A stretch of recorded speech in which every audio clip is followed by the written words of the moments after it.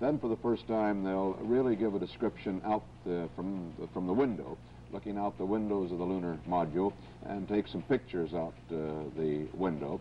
Uh, then uh, they go through a uh, hour of uh, an eat period. They have breakfast, in other words, and then prepare their equipment for the first walk on the moon, which is scheduled for 8.53 a.m. Eastern Standard Time. Uh, by the time they get down the steps and get the color television camera turned on, it should be about five minutes after 9 uh, Eastern Standard Time. CBS News color coverage of this third landing on the moon continues in a moment. The nautical miles in the command module, and uh, command module, and uh, at that time he maneuvered his spacecraft so he could install this lunar topographic camera, which is commonly referred to as the Hycon camera. It's a very high-resolution camera, weighs about 75 pounds, and it mounts in special brackets on the hatch window.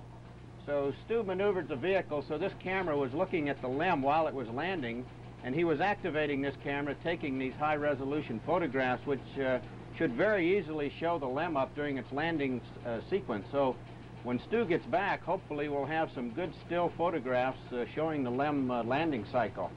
Uh, this camera also has a motion compensator in it, uh, Walter, which compensates for the uh, velocity of the vehicle around the moon. We're going about 3,200 miles an hour, so as we snap each uh, photograph, the insides of this camera actually move slightly to take all the blurring effect due to the velocity of the vehicle. So uh, Stu's been very busy. Besides uh, listening very intently to the landing process, he was also trying to record it on photographs. And that's about it from the command module, Walter. Well, Leo, uh, uh that's the camera that they're a little worried about. They really don't know, but uh, Stu has reported that he hears a funny clicking inside that camera when he fires it off. And uh, like some of us with our own still cameras where we've heard strange noises and later found the film wasn't uh, engaging the sprocket and other such problems. Uh, there's some concern, I gather, in Houston that that may be happening in this camera. Uh, that's right. We're investigating that back at North American right now with uh, the people that have run the tests on this camera, but we are sure that it's putting film through. We have a film counter, a frame counter, and it is putting the film through, so it's probably taking the photographs okay. There's a possibility the squeaking sound may be because of slightly low voltage, and it might be the motion compensator in there that's, that's causing this, but uh, I think the consensus of opinion right now is that we are getting photographs from it. Now, he's also got another camera that he can take pictures of the landing site. In fact, we'll be taking some other pictures of that uh, Apollo 16 planned landing site, I gather, Leo. Is that right? That's right. He also has Hasselblads, as we, with, uh, we've used in the past. Wally can explain those, but we also have those mounted in the windows, and we're taking photographs uh, simultaneously.